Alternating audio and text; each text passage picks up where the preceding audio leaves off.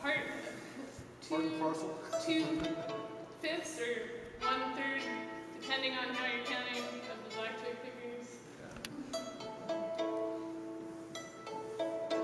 Got one, one picker, uh, sleeping off some jet lag today, and another one headed to a, uh, to a funeral. unfortunately.